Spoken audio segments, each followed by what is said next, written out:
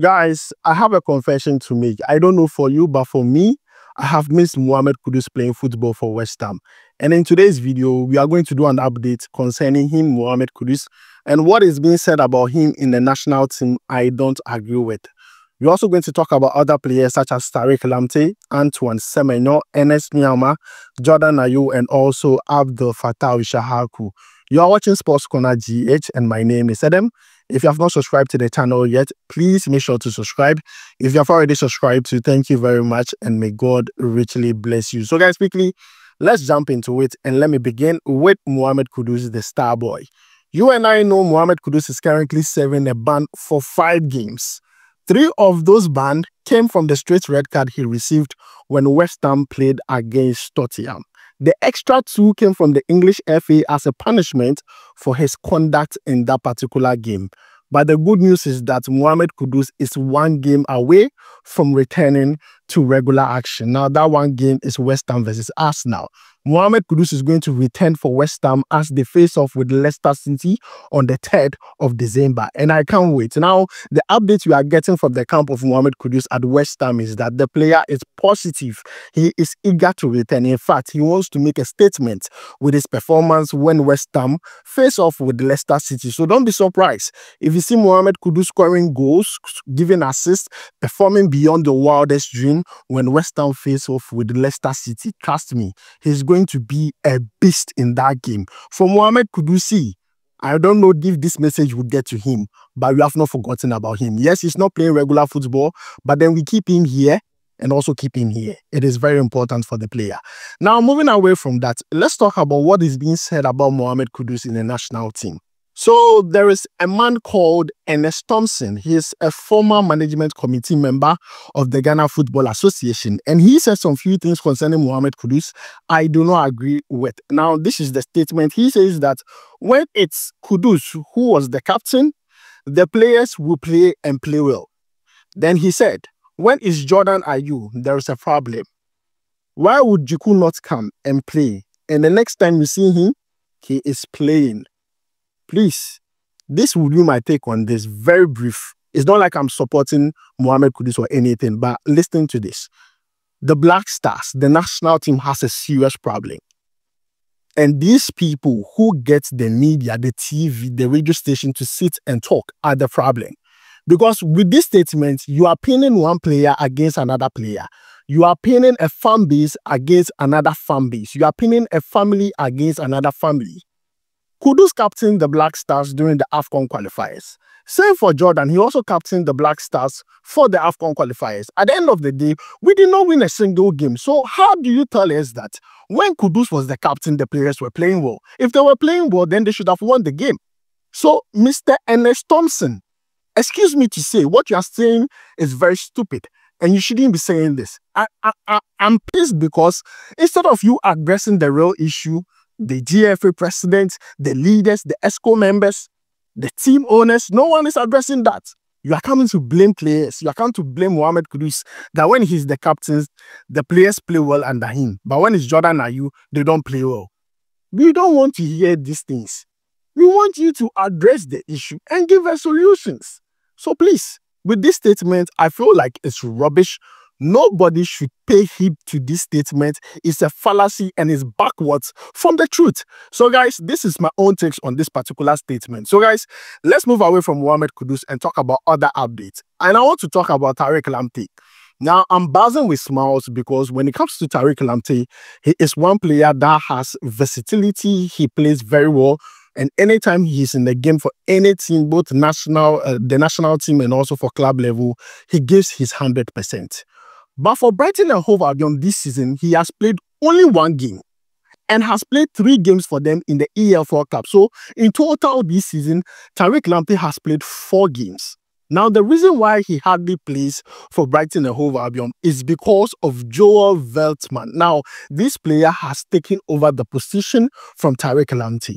And now what we are hearing is that there are three clubs interested in signing Tariq Lamptey. Now, these clubs are West Ham, Tottenham, and also Everton. Now, in the January transfer window, all these three clubs want to see if they can, you know, persuade Tariq Lamptey to switch side from his current club, Brighton and Hove Albion, and play for them. Now, let me explain the Tottenham situation to you. Now, Tottenham, they are scared they could lose their star man, Pedro Porro, to Real Madrid. So they just want to find a suitable replacement for the player, and they have identified Tariq Lamptey as that player. For West Ham, they also want the player just to bluster their squad, and also for Everton, they have been a long time admirer of Tariq Lamptey. So, guys, these are the three clubs interested in Tariq Lamptey, who is not getting regular playing time at Brighton and Hove Albion because Joel Veltman is doing a great job playing that right back position. And that is the update. I'll make sure to bring you more because these are just transfer rumors. So once there is something precise and concrete, I'll make sure to bring you that live here on Sports Corner GH. Now, moving away from that, let's talk about Ernest Nuamah. When it comes to Ernest Nuamah, most people would have mixed feelings with the performance he has given ever since he moved to Lyon. Now, when he was moving from Nordsjælland to Lyon, most of us believe he was the next big thing. But when he moved to Lyon, it did not play out exactly the way we wanted it to. The reason is that he went to Lyon at the bad time. He went to Lyon when they were having issues and problems. And currently, Lyon are having a financial issue. And this financial issue means that they have to do away with some players. And in that list is Ernest Nuamah. Now, there's a team in Turkey called Galatasaray interested in signing Ernest Nuamah, and they are willing to make an offer of 10 million euros. And this is coming from a news outlet in Turkey called Sports. SPORX, they are the ones announcing this, saying that, see, Galatasaray is interested in signing Ernest Nuamah and they will be making a bid of 10 million euros in the January transfer window. But then, you see, we have seen this before. In the previous transfer window, Ernest Nuamah was supposed to sign for Fulham because Lyon were having financial issues and they wanted to do away with Ernest Nuamah. Only for the D-Day, Ernest Nuamah only had to sign, oh, only signing. He went missing and then when he was found, he was crying. He said he wanted to return back to Lyon and they sent him back to Lyon. Because of that, he did not sign for Fulham. Now, this same situation people are asking, would he play when Galatasaray come in to sign the player? That is what people are asking because after you know, it was published, people went under the post and they were like, ah, isn't he the same player who was crying when he was going to Fulham? Would he be crying when he's going to Galatasaray? A lot of questions. But then we just have to wait for that moment to come. This is a transfer rumor. So far, Ernest Nuamah has played 10 games 10 games for Lyon.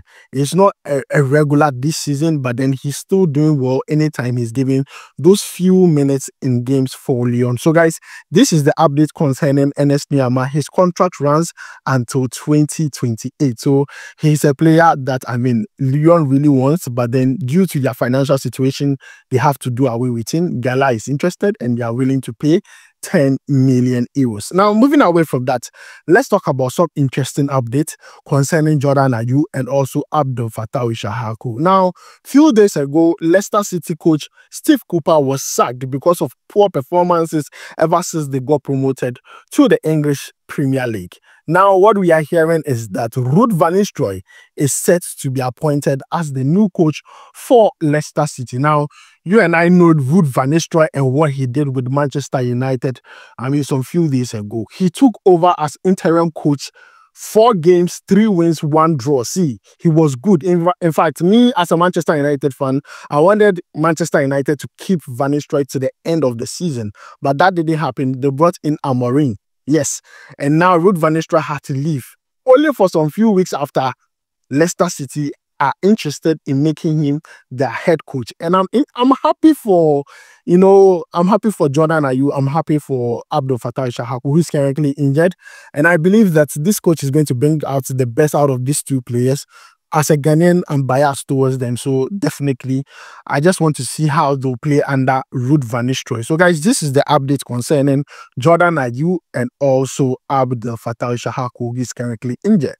Let's talk about Antoine Semenyo, who is currently having four goals in the EPL with Bournemouth. In fact, I should say he's Bournemouth's key player this season. He's performing very well. He's even performing than he performed last season. And you all know that there are a lot of clubs in the EPL who are interested in signing the player. The likes of Tottenham, the likes of Arsenal, and Newcastle.